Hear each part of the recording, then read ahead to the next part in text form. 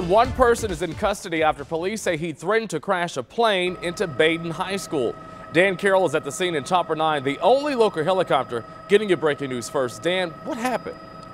Well, Ryan, the, the picture that you're looking at right now, this is the airplane in question. It is a Cessna 152. It's a small airplane, and it's a common airplane that you see around airports like this, Lunken Airport. You, know, you name a small airport, you're probably going to see an airplane that looks exactly like this one. It is uh, an airplane that uh, that a lot of beginning pilots fly, and, and uh, frankly, a lot of uh, a lot of uh, experienced pilots like to fly. So we looked at the tail number of this aircraft. It's registered to a corporation, and that means anyone could have been flying this airplane. Now, apparently, a threat came in around 10 o'clock this morning that the individual flying this aircraft was going to take it into Badin High School, crashed into Badin High School, and somehow.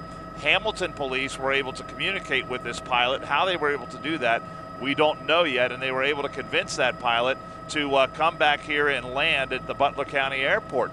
Now, Badin High School is only about five miles distance uh, from here at the airport, so you imagine that would have happened in a relatively short period of time. We took Chopper 9 over to Badin High School just a little while ago, and we looked at the uh, situation there, and from our vantage point in Chopper 9, everything at Badin High School appeared to be business as usual. So, as you said, one person is in custody. That person is talking to uh, Hamilton police right now. And uh, I'll tell you what, uh, quite frankly, I'm a little surprised there's not a bigger police presence here at the airport that uh, this airplane uh, doesn't have some sort of caution tape or crime scene tape around it.